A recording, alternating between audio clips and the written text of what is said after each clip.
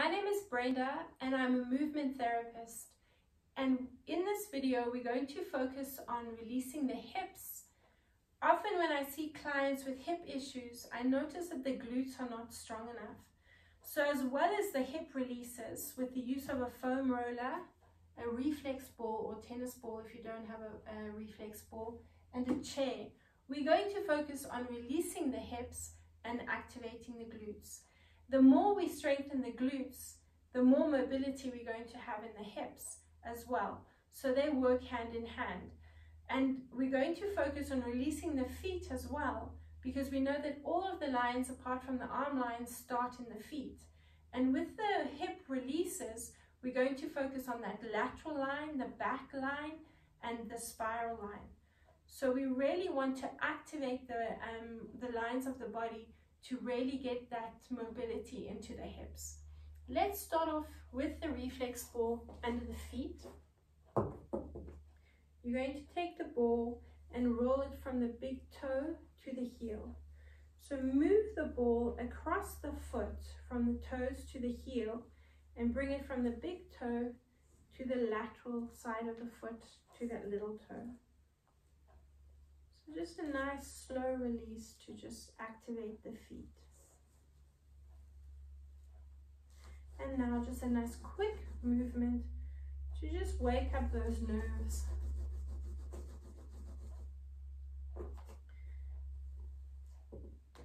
Let's do the other foot. So the big toe onto the ball and roll over the arch of the foot to the heel. Let's move along the foot.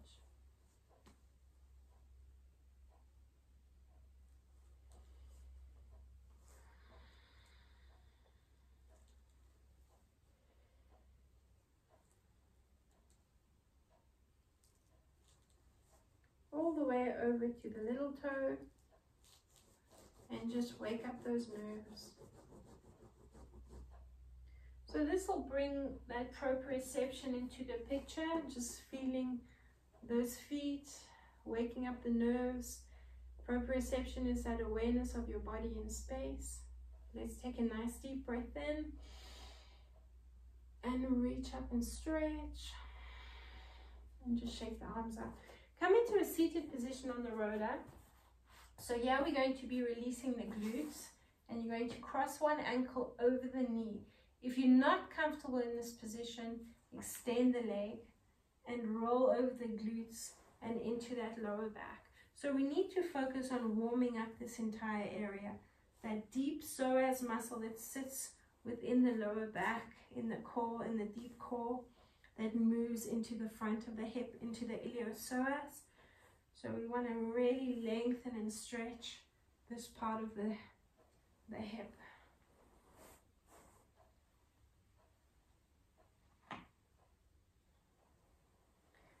If you want to bring the foot into the hand, the yogic lock, bring the, the leg up and roll over those glutes.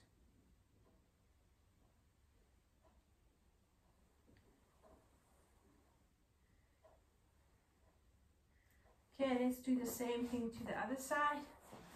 So just, when we're in this position, you're going to lift the opposite buttock, the same leg as, the same buttock as the supporting leg off the roller and add that weight into the other leg so you get nice and deep into that release. Roll into the lower back and over the glutes. Lengthen the leg out if you want to cross the ankle over the knee if you can.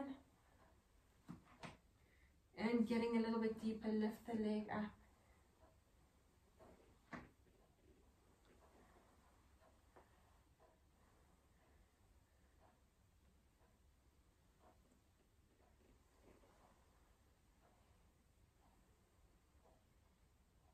Good. From that seated position on the roller, just come off the roller, behind the roller, into a seated position again and bring the roller into the lower back.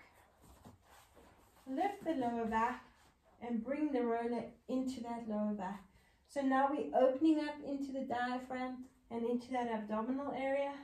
Bring the knees over the hips and just rock from side to side. So you're massaging into that lower back and getting a little bit of movement into the hips.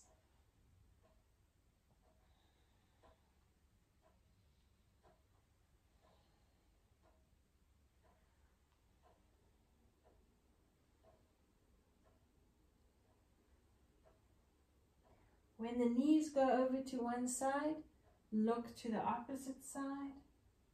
And the last one. Come back to center. Bring the foot down and the other foot down. Lift their lower back and release the roller. Come up into a seated position. And just one more release on the roller.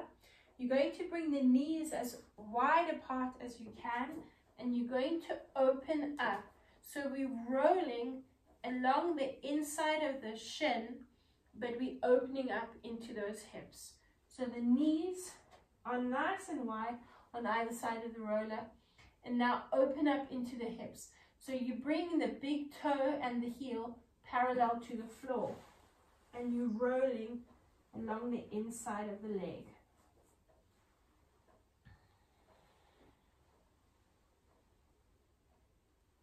Let's do a few more.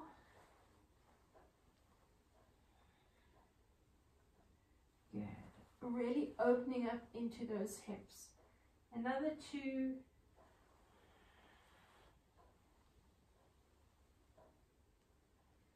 And another one. Good. Let's release the roller. Now you're going to work with the chair. Starting off behind the chair, make sure the chair is just below the hip. So a little bit um, of, um, you don't want to lift the leg up too high.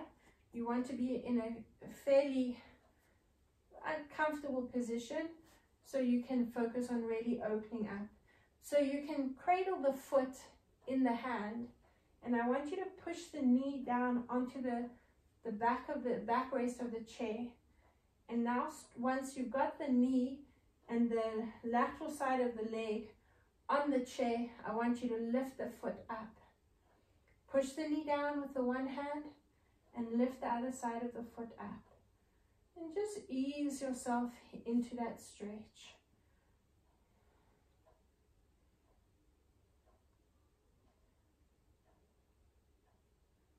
Three, two, and one. Good. Let's do the same thing to the other side. So bring the foot into the hand to start and then the knee up onto the back of the chair and just bounce the knee down as you lift that foot up and get a nice range of movement in the hip. Doesn't have to be big, little movement and increase that range of movement as the hip eases into that stretch. Four more, three, two, and one. And hold it in that rotation, lifting the foot and pushing the knee down. Good, let's release it. You're going to, now for this next one, you might need to push the chair up against the wall. So you've got a nice sturdy um, base to work from. Bring the feet parallel and nice and wide apart. The closer they are, the more difficult it is to get that nice range of motion in the hips. The further apart, maybe slightly wider than hip distance, and then just bounce into a stretch, lengthening the hamstrings and getting a nice stretch in the upper body as well. Now I want you to come forward, take the feet slightly further back if you need to, and into that um, down dog position. So you're pulling back. And now I want you to lift the knee up. Oh, sorry, just moving forward slightly. Lift the knee up and rotate. So you here, you're getting a nice lateral line stretch and a nice range of movement in the hip. And again, if your movement is only today, start off small and as you ease into the stretch and the release, you will um, increase the range of movement.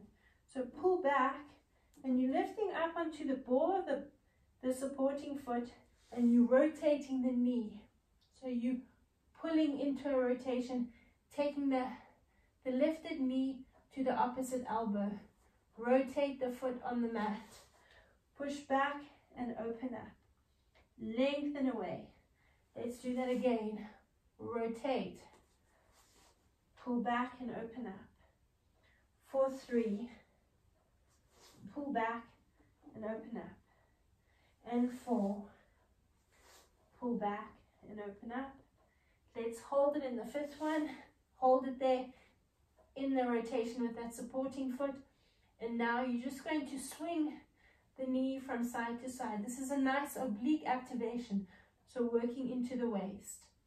Let's step back and pull back into that down dog stretch, up into the hamstrings. Come forward and let's do the same thing with the other leg.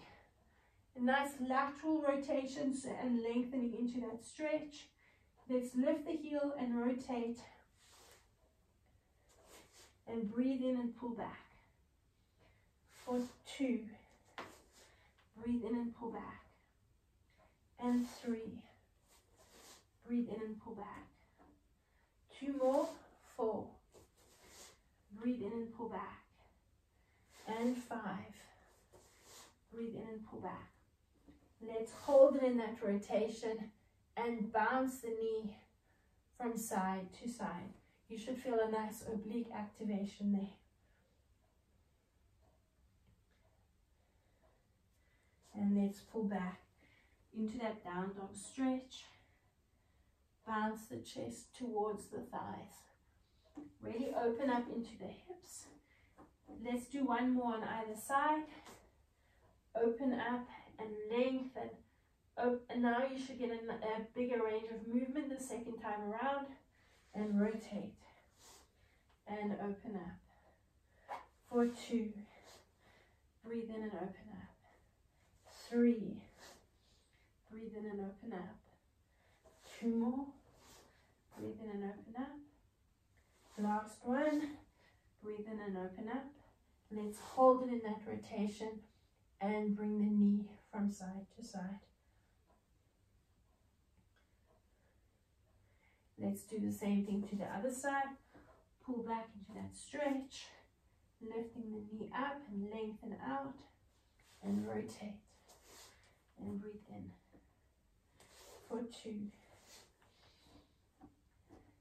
and three and four the last one, five. Breathe in. Hold it in that rotation and swing the knee across. Four, three, two, and one. Good. Coming into a few uh, glute activations. And the squat is great for this.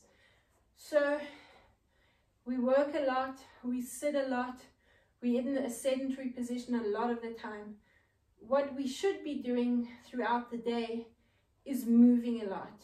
Every now and again, get up and out of your chair and do a few squats to really get that fluid running through the joints and um, that mobility will help loosen things up so you're not so stiff all the time. Let's focus on keeping the knees where they are and you're sitting back into your chair and you're lifting up. You squat and you lift up. So just gently hover above your chair. Don't sit on the chair, but that's your position you want to focus on being in when you come into the squat. Try keep the body nice and tall. If I'm seeing, if you're doing this and those knees are pushing forward over the toes, then I want you to come behind the chair. Again, if you need a, a, a wall to push the chair up against to keep it nice and sturdy, use it. Bring the feet slightly wider than hip distance. And again, you're sitting back into that position. Holding onto the, the back of the chair will help you keep the knees in that position. The other thing I want you to watch out for is having the feet parallel and the knees coming in like that. You're going to put a lot of uh, strain on that lateral line and you're going to put a lot of strain on the inside of the knees. So if you find you're doing this, then I want you to turn the feet slightly out to about 45 degrees. Don't open up too much. Let's keep the feet there and make sure the knees are going out and not coming in. Okay, let's do a few of those. Squat, squeeze the glutes and lift.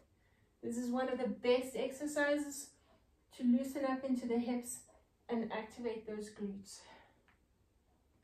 Let's keep going. Breathe out as you squat. Activate the glutes with the breath. Breathe in on the way up. Let's do another four. Breathe in and lift. And three. Breathe in and lift. One of the most important things while you're doing that squat is to keep the heels down. So try transfer the weight into the heels and let the toes relax. Let's hold it in that squat position. And now I want you to go as low as you can go. Again, making sure the heels stay in that position and the weight is in the heels. Hold that squat position, focus on your breathing. Remember we're breathing in and out through the nose, a nice deep diaphragmatic breath. Let's lift the tailbone and just bounce it out there. Squeeze the glutes, take a nice deep breath in, and curl and circle the shoulders back.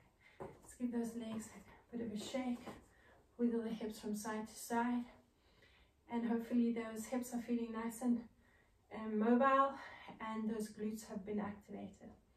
Thank you for joining me